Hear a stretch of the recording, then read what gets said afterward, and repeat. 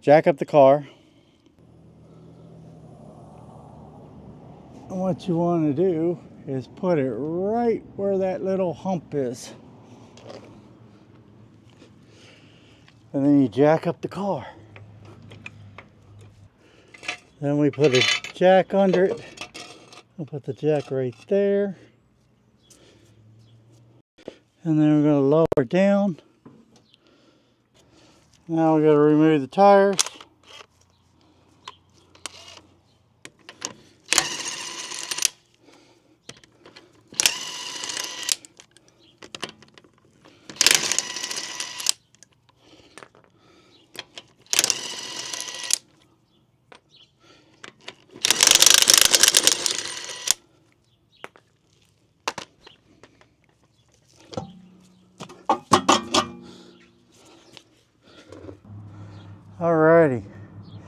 This has a bong in it. And then we're going to remove this. Before we remove this, we're going to remove this. We're going to try with a regular one first.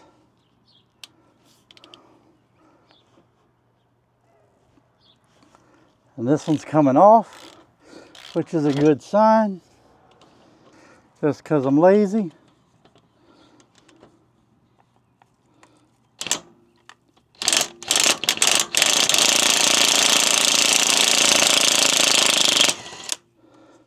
Comes off. That's a T50. I'll pop this off. This little cap. It's your cap for your window. You want to pop that off. Keep that because you're going to put that in the new one. Now this one, one, two. Come out. Then comes out. These are 13. Those are 13 millimeter.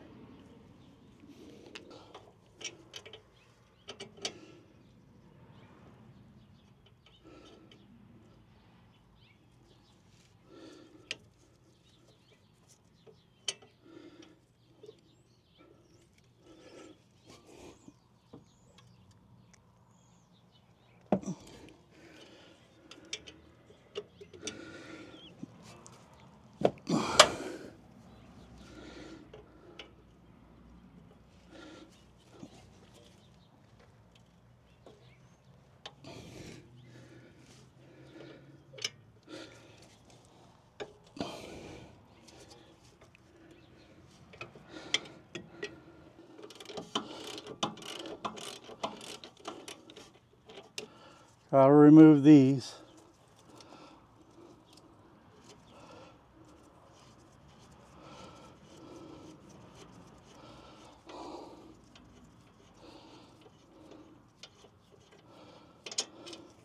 Gotta remove these, both of them.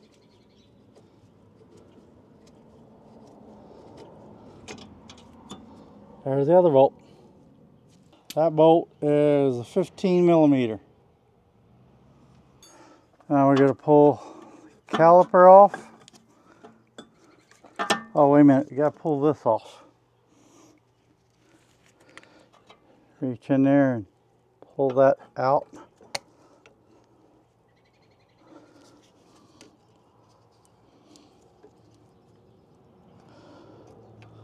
That out of there like that. Oh, the metal sensor didn't come out.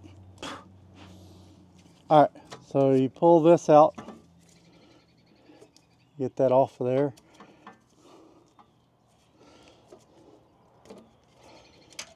That goes off of there. Pull the other caliper out.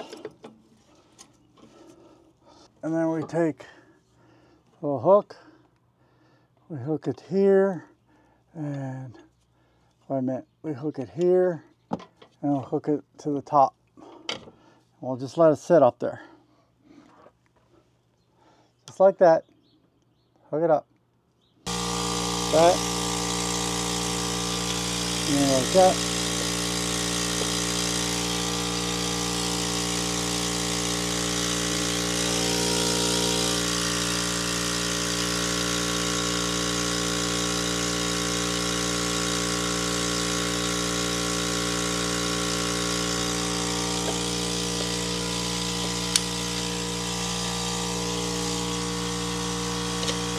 That back up there.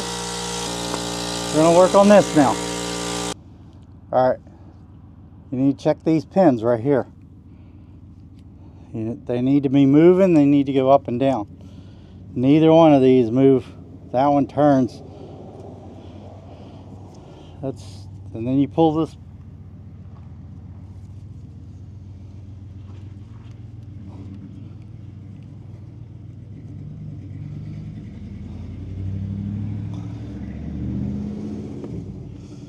pull the rubber down all the way and then you pull these out. They need to be greased.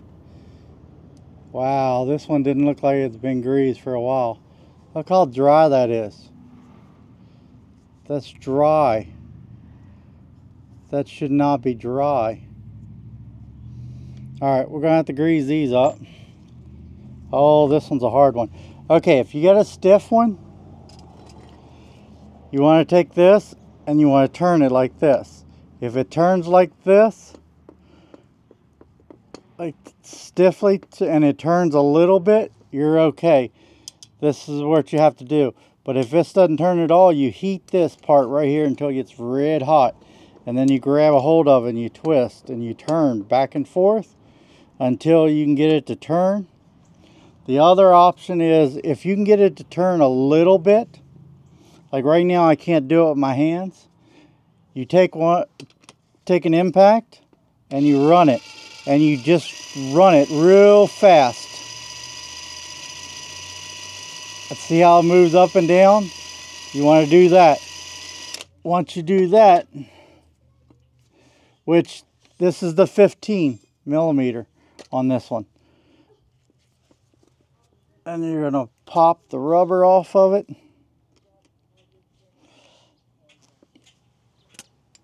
You can use a screwdriver.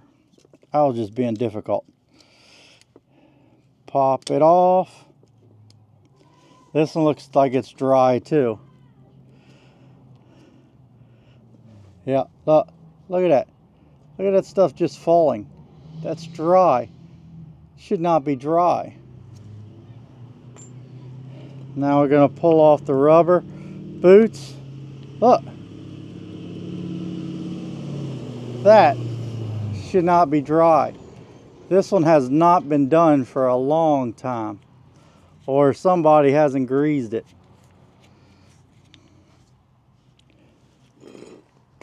Pull the other one off. Look at that. Look like sand. Look at it. That's not good.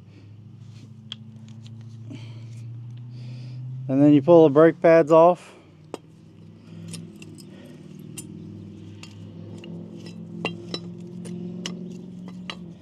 And with those jammed up like that these were never going to work. See how they got like little rust particles in it? See how it's rusted going across? These weren't used. These were not making contact. And it's because these pins were too stiff. Once they went in like that, they sat there. And these are supposed to go back and forth like that. And I can't even get them in there now. They need to go back and forth like that. And it's dried up in there. You need to put grease on these. This hasn't been used. Look at look at all this on the outside.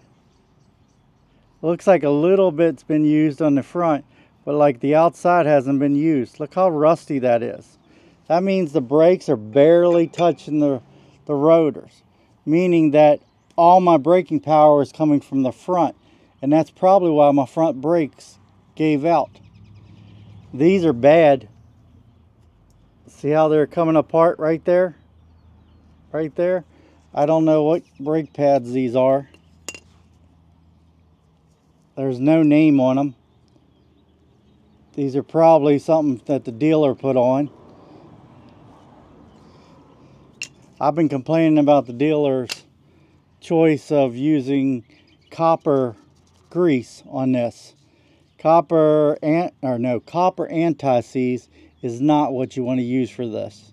It needs to move in and out. Copper anti-seize does not work. This is the stuff I use for brake pins. Use this stuff. This is one of the reasons why you should be doing your own brakes. So you can catch things like this. I'm gonna take sandpaper.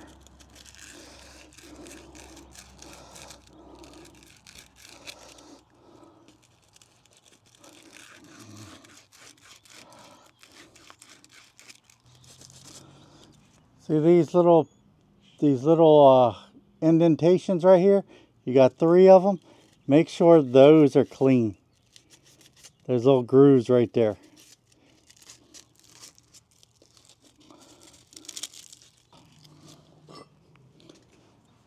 All right, these are about as good as you can you expect from them. These are old, but this is what you want to clean. You want to make them shiny. Now, we're going to have to clean out these holes.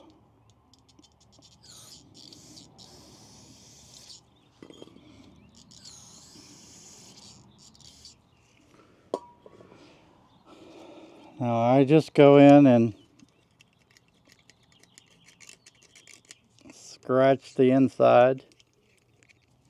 And then you're going to take your pin and you're just run it inside and out and you're going to spin it around. And just like what you want to do is rotate it like this inside and just spin it around. And to me, that seems to get the majority out of there, enough to use. And then you take the other side, like this one's stiff, put it in there and just run it back and forth.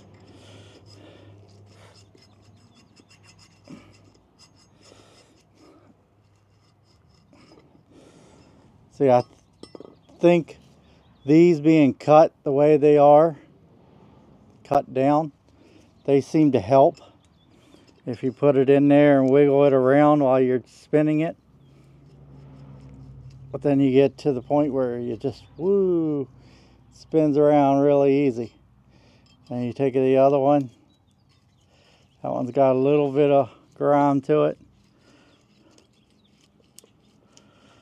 Seems to be at the bottom. At the bottom, you just use a screwdriver. Scrape the bottom. Yes, you can get yourself a little brush and do it too. But I find this way seems to be okay at getting it done. Alright, that's enough. Pour it out. Spray all the stuff out of it.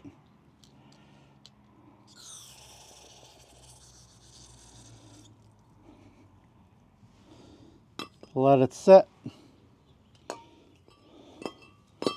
And you just let that dry up.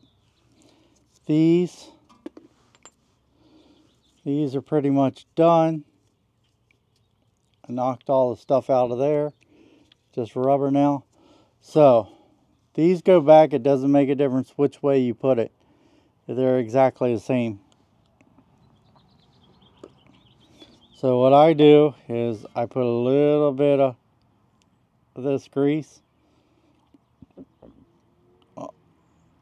on the lip and then I force it back up in there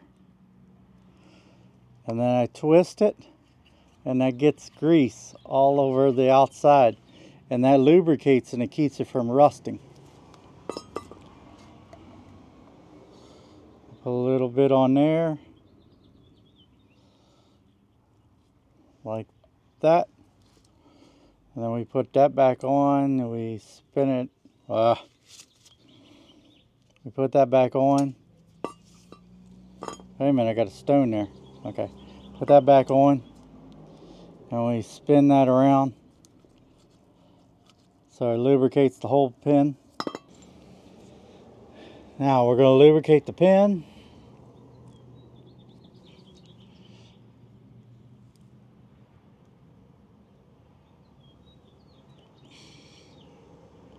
Yes, I put a good bit because this this pin wasn't lubricated and I took it all the way up to the bottom of the little lip there. And again, this was never, this was not lubricated right. So then I take this and I twirl it around there. And then I take this pin and I put it right in there and I spin it the whole way down. Now, this needs to be pushed all the way down. See how it's bouncing there? It needs burped. Burping is when you take this and you pop it open so the air comes out. Now, when that goes back shut, see how flat it is? It's not like this it's flat. That's how you want you want it to bounce back. You want it to bounce back in like that. That's how you want your pins to sit.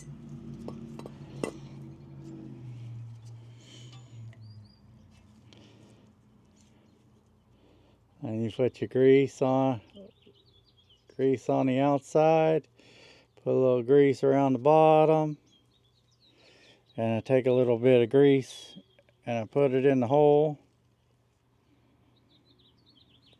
Like I said, I don't normally put this much grease, but since this one didn't have grease to begin with, I'm putting this much. So when you put it in there, this one's a tight one. So you want to kind of wiggle it back and forth as you're putting it in to release the air. And you want to spin it you want to try to get as much air out of, of there as you can. See? See what I'm telling you about? See that pin?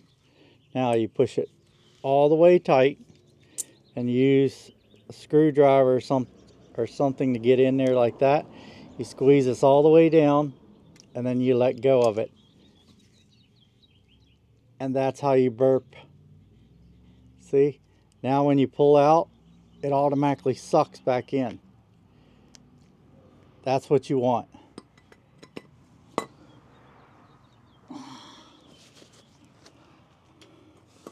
Okay, now we're going to pull these shims off.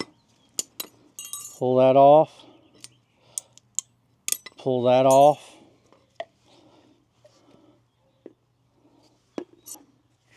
Then I get my file out. These are not bad, but I still file down the edges. Can you see that? No, you can't see that. I file down the edges. And then I file the middle. And then I file this and a little bit of this.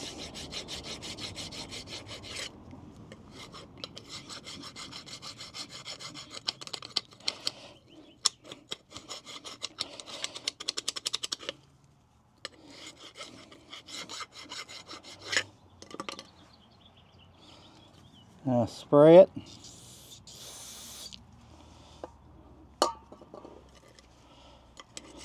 A little bit more.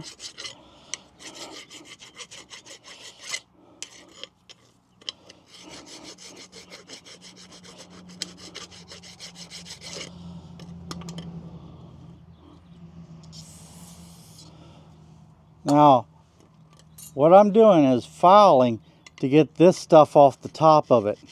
I'm not filing to shape this. I'm not filing to cut into the metal. I don't want to cut completely into the metal. I want to get this brown stuff off. Anything that that is not making this flat, I want to get off. See, like right here, this dust that's on there, you want to get that off. And that's fine. That right there is fine. See that? That's all you need to do. And then you're going to take these. So, with the side with the little dimples, inward. Push it all the way over.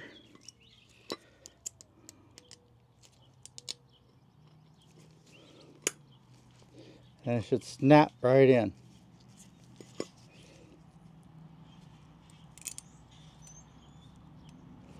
That's how it should go. Snaps right in. On this one, do the same thing.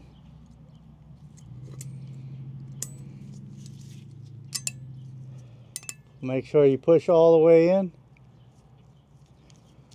On both sides. Like that. And that's all the way in. Now, here's going to be the problem everybody's gonna have a fit over. Okay, I always put a little, a light thing of grease right here. Now, and I've never had a problem with it. Just a light thing of grease right there. And technically, I actually put grease on the inside too, but that's here and there. I'm just putting it on the outside because the inside did not look bad but I always put them on there. Uh, some people usually put them on the ears. Same concept, but I put them on there instead of brake calipers. So now I'm going to take this. I'm going to sand this off a little bit.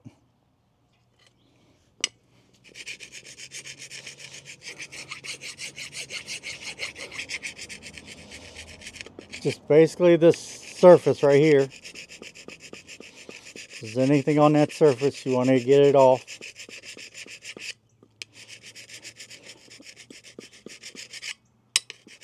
That's good enough. Now I'm going to spray it down with a little bit. And that's good enough. Now, I'm going to put this to the side. I'm going to try to pull this off of here. Just wiggle.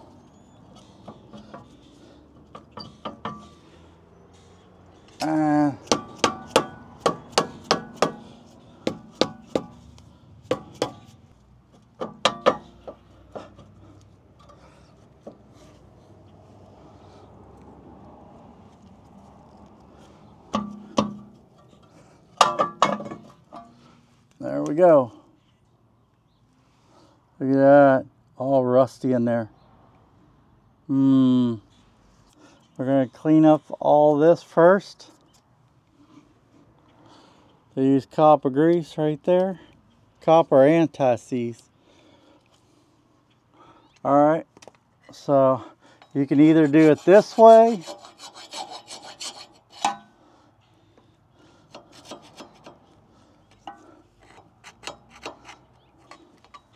that.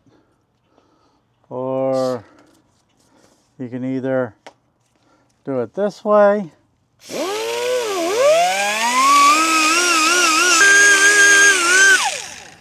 Or you can get yourself a brass wheel put on drill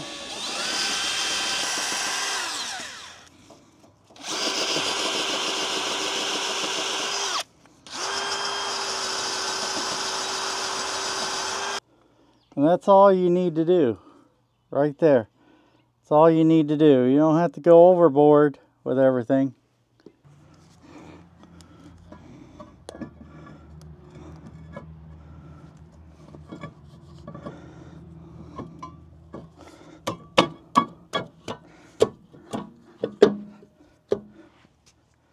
And that's that. I'll put a little bit of anti-seize. On the thread. And we're going to put it in there. Get that started.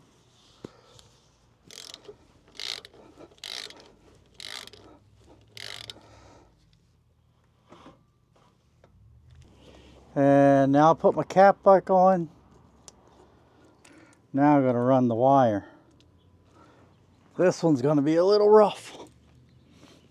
All right so get up here so we can see. The wire starts down here. You pop it off the joint. This comes off the the filler, pops off. And then we come down, around, and then right here I'm gonna pop that off right there. And then up here, can you see that? Yeah. You pop that off. Then you go up a little higher. You're gonna pop this off.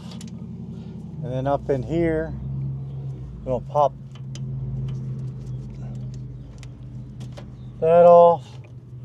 And then that comes, that goes all the way around I don't understand why they run it way over here, but there it is. Then all you're to do, pull this up a little bit, pops out. And then you're to pull all that back through.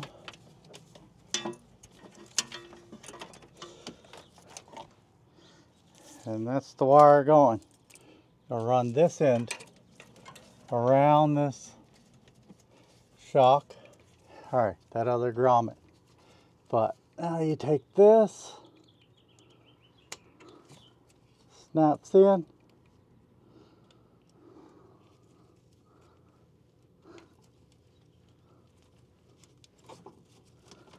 Push it in, make sure it snaps.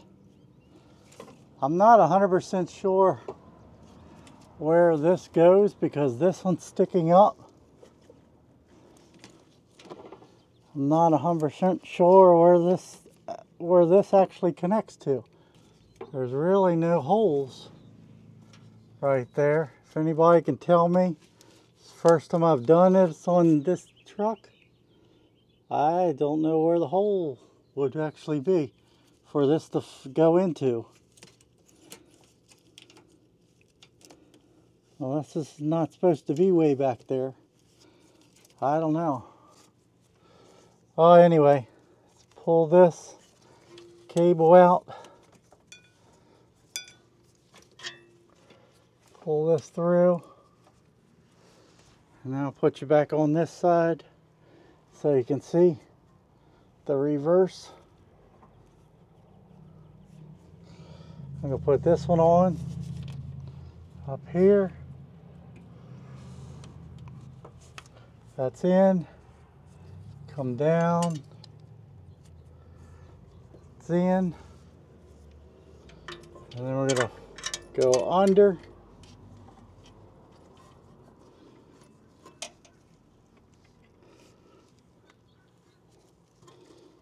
We're going to put that right there. And then we're going to come across and put that right there.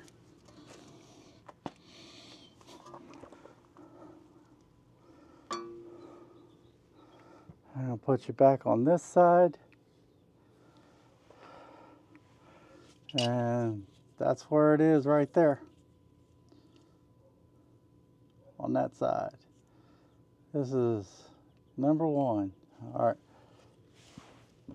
Oh, in case you guys need to know, that is the model number for this wire.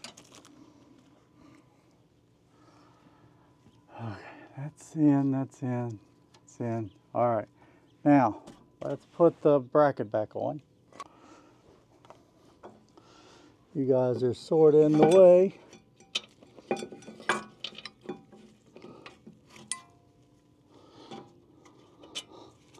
Let's try this a different way.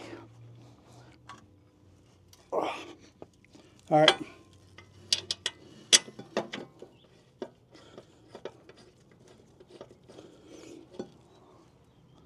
Take the other one.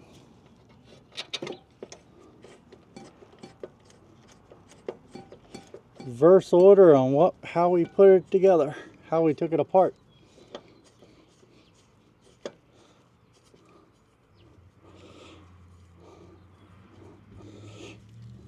You guys see?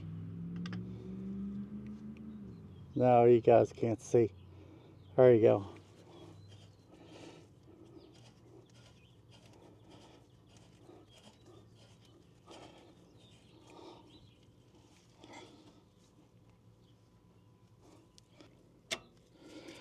Down. Click.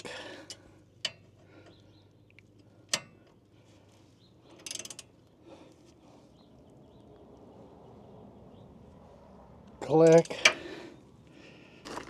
Now we're going to do the brakes. Brake pads on the rear does not make a difference which side's what. That is the new one. That's the old one. Aha, need some brakes. So we're going to take this, the bow end out.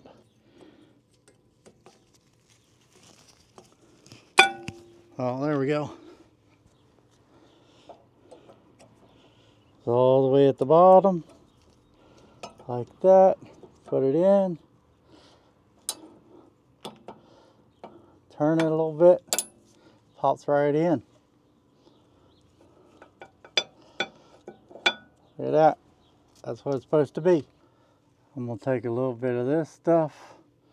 Put it right there, right there and all the way around here because I don't want it to to rust up. A little bit of grease on there. And I don't want it to rust up, so I put a little bit. Not a lot, just a little bit. All right, so we lift that up off of there. I drop this. Now we go back down. Now we take this, whip it around, put the back side in first, squeeze up to the front, push these in, there we go with that. And we have new bolts. I like these because they got a head on them. They got a shoulder on them.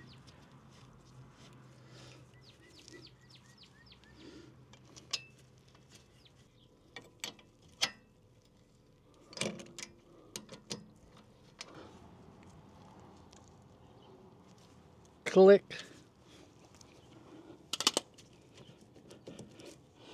And this is what happens when you don't have the right wrenches.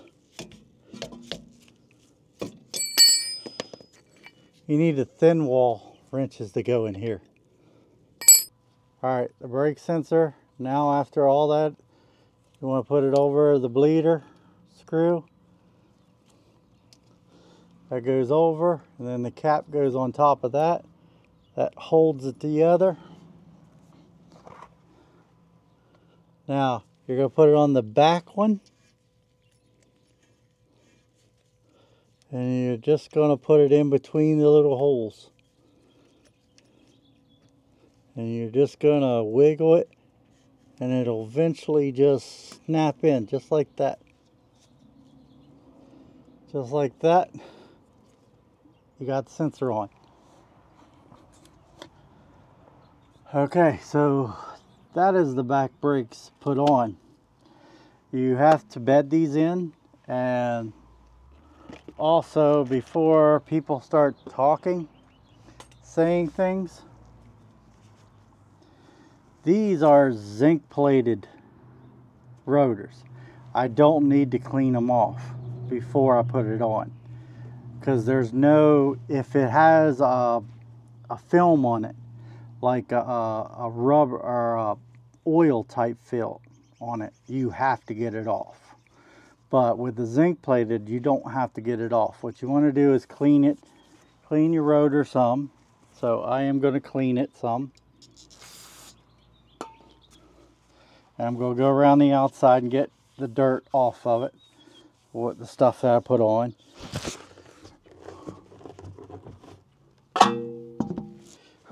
We need to put the tire back on.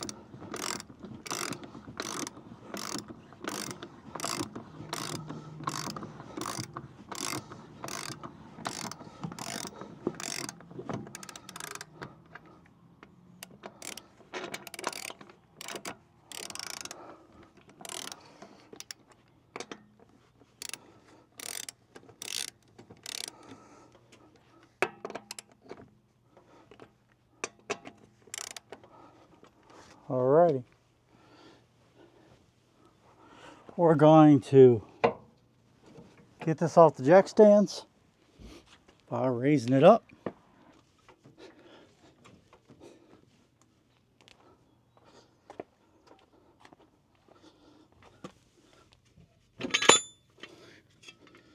Rid of that.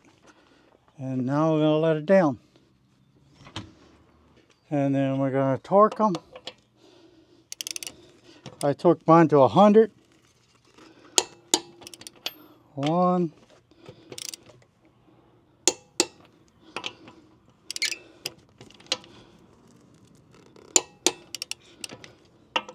I know it's supposed to be like 103,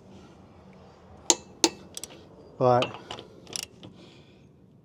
I just do mine to 100.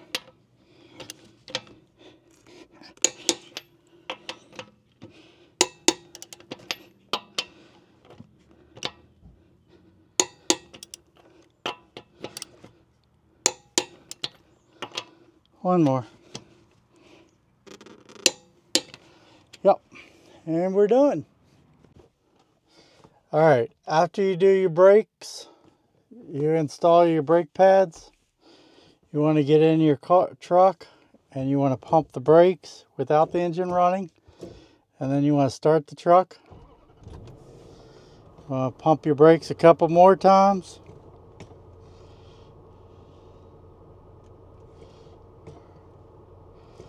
All right, then you want to go back down to normal ride.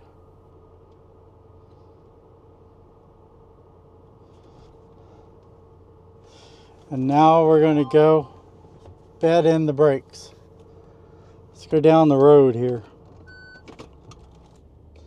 Break in the, the brakes. We're just going to drive here and we're going to get some distance and then we're going to hit the brakes. So you don't want to stop completely. You drive a little farther. Basically you want to do this like three, four times. That's all there is to it. Yeah, they're going to tell you you need to go mile, so many miles per hour and all this stuff. It's basically if it's getting better, it's getting better. I'll do it one more time, no, two more times, and then that'll be it. And then your brakes should be fine after that. You're basically just taking off the coats of the rotor and the brakes.